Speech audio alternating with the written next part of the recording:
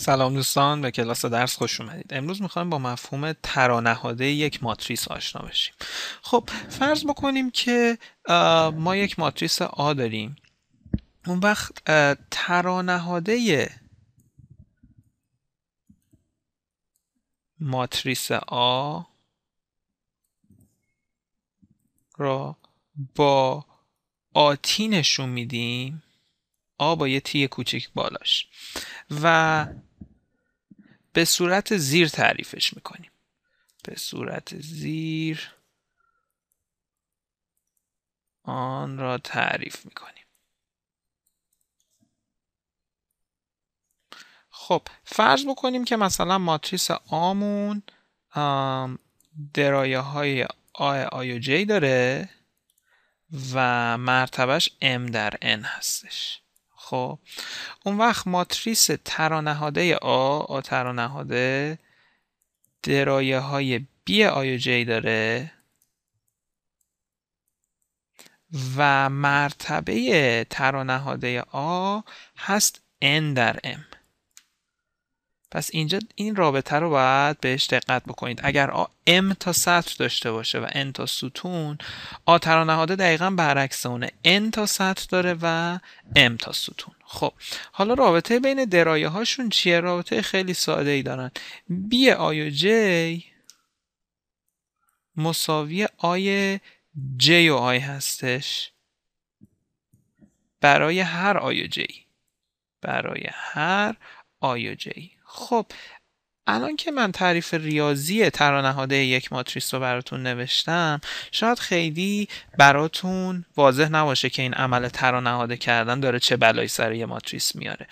به زبون راحت و خودمونی ترانهاده کردن یک ماتریس جای سطر و ستونهای ماتریس رو با هم عوض می‌کنه. پس این پایین براتون می نویسم ترانهاده یک ماتریس. از عوض کردن جای سطرها و ستونهای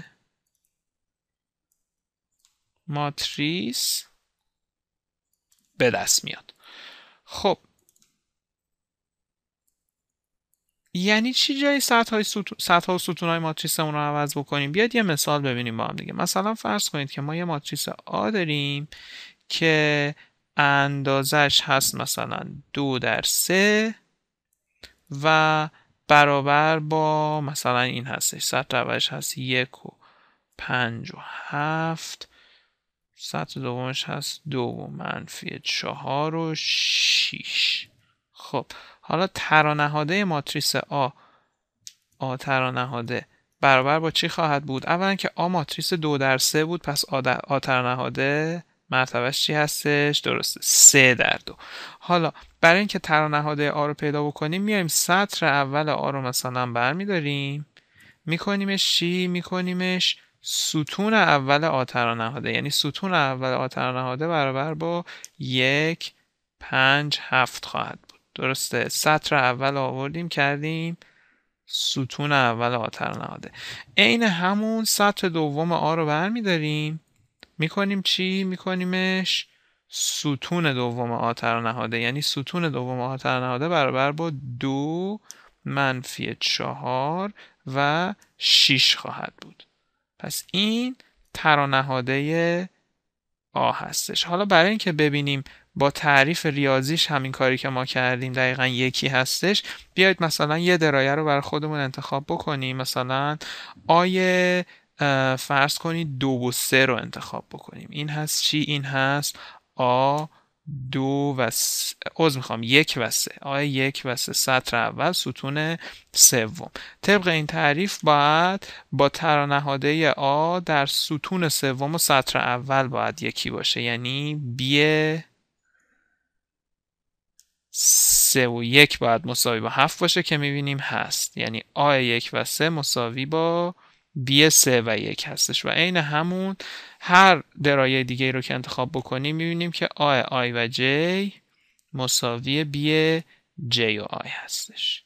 خب پس می‌بینیم که این تعریفی که برای ترانهاده دادیم گفتیم که اولا جای تعداد سطح و ستونا جابجا میشه. مثلا آ دو در سه بود آ ترانهاده سه در دو هستش همطور که می‌بینید. و درایه آی و جیوم آ با درایه جی و آیوم آ ترانهاده برابر هستش. خب حالا که مفهوم ترانهاده یه ماتریس رو با هم یاد گرفتیم دو تا تعریف کوچیک دیگه هم من براتون می‌کنم. فرض کنید که آ ماتریس مربعی باشه. آ یک ماتریس مربعی باشه. اون وقت اگر ما داشته باشیم اگر آ مساوی با ترانهاده خودش باشه. اون وقت میگیم ماتریس آ ماتریس متقارنی هستش. آ ماتریس متقارنی هستش. مثال بیاید با هم دیگه ببینیم. مثلا مثال از یک ماتریس متقارن مثلا آ می‌تونه مساوی با این باشه. یک سه سه دو. خب وقت می‌بینید که اگر ما بیایم آ رو در حقیقت ترا نهاده بکنیم چی به دست میاریم؟ به دست میاریم آ ترا نهاده. مساوی هستش. با خب قرار جای سطر و ستونای آ رو عوض بکنیم دیگه. پس این یک و سه میاد میشه. ستون اول آ ترا نهاده و این سه و دو میاد میشه ستون دومش. سه و دو. و همونطور که می‌بینید آ نهاده با آ مساوی هستش. خب چرا حالا به این ماتریس میگیم متقارن؟ چون اگر قطر اصلیش رو نگاه بکنیم سایر درایه ها نسبت به قطر اصلی متقارن هستن. یعنی مثلا اینجا که یه سه داریم اینجا هم یه سه داریم. مجددا توی ترانهاده آ هم که با خودش مساویه تمامی درایه ها نسبت به قطر اصلی متقارن هستن. مثلا من یه مثال از ماتریس متقارن سه در سه اگر بخوام براتون بزنم یک همچین چیزی خواهد بود.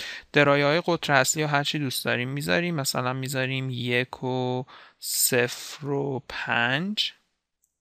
و اون وقت بقیه درایه ها نسبت به قطر اصلی باید متقارن باشن. مثلا اگر اینجا رو می‌ذاریم دو اینجا هم باید بذاریم دو. اگر اینجا مثلا می‌ذاریم منفی سه اینجا هم باید درایمون منفی سه باشه و اگر مثلا اینجا درایمون چهاره اینجا هم باید چهار باشه. خب حالا شما می‌تونید خودتون بر خودتون در حقیقت چک بکنید که این یه ماتریس متقارن هستش و ترانهادش با خودش برابره. چون مجددا اگر نسبت به قطرش نگاه بکنیم مثلا اینجا که چهار داریم متقارن نسبت به قطر باز هم درایه برابر با چهار هستش. خب یه حالت دیگه هم دارن ماتریس های مربعی. اگر که آ با منفی ترانهاده خودش برابر باشه. یعنی مساوی با منفی آ ترانهاده باشه. یا می‌تونیم دو طرف رو توی منفی ضرب کنیم و بگیم آ ترانهاده برابر با منفی آ باشه. خب اون وقت به ماتریس آ میگیم ماتریس پاد متقارن میگیم آ ماتریس پاد متقارن هستش. خب یه مثال از ماتریس پاد متقارن مثلا اگر ما ماتریس آمون برابر با این باشه آم صفر یک منفی یک و صفر. خب اون وقت آتر و نهاده برابر با چی میشه؟ خب مجددا سطر اول آ رو میاریم می‌کنیم ستون اول آ نهاده پس ستون اولش صفر و یک. سطر دوم آ منفی یک و صفر میشه ستون دوم آ نهاده. و می‌بینیم که این مساوی با منفی آ هستش. پس آ نهاده چون مساوی با آ منفی آ این یک ماتریس پاد متقارن هستش. خب نکته ای که در مورد ماتریس های پاد متقارن وجود داره اول اینه که نسبت به قطر اگر نگاه بکنیم درایه هایی که متقارن مکانشون نسبت به قطر منفی همدیگه هستن مثلا اینجا اگر یک داریم اینجا منفی یک داریم.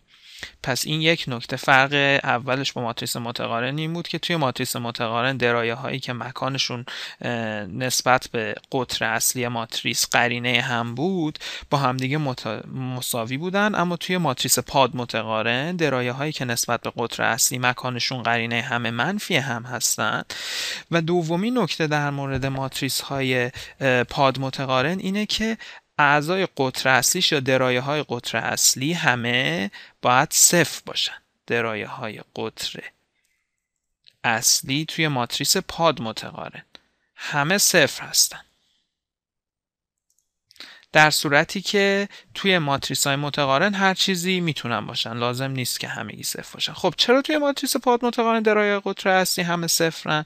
چون دقت بکنید وقتی که یه ماتریس رو ترا نهاده می‌کنیم درایه های قطر اصلی جاشون عوض نمیشه. مثلا هر چی که اینجا باشه مثلا اینجا اگر یک بود توی ترا نهاده ماتریس هم یک جاش عوض نمیشه. وقتی که ماتریسمون رو ترا نهاده می‌کنیم. چرا؟ چون گفتیم که وقتی ترا نهاده می‌کنیم a i و j می رود به b j و i درسته؟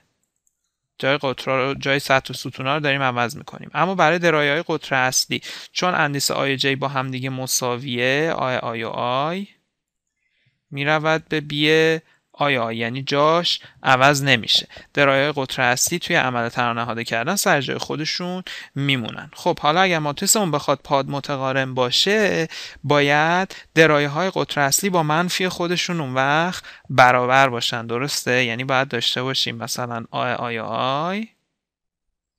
برای ماتریس پاد متقارن مساوی با منفی a i i هستش طبق تعریف. و خب این نتیجه میده که چی؟ a i i باید مساوی با صفر باشه حتما. چون تنها صفره که با منفی خودش برابره. هیچ عدد دیگه با منفی خودش برابر نیست. پس درایه های قطر اصلی توی ماتریس های پاد متقارن همه صفر هستن. خب اینم از تعریف ماتریس های متقارن و پاد متقارن و ضمنا دقت بکنید که هر ماتریس مربعی لزومی نداره که متقارن باشه یا پاد متقارن. می‌تونه هیچ از اینها نباشه. تا جلسه بعدی خداحافظ.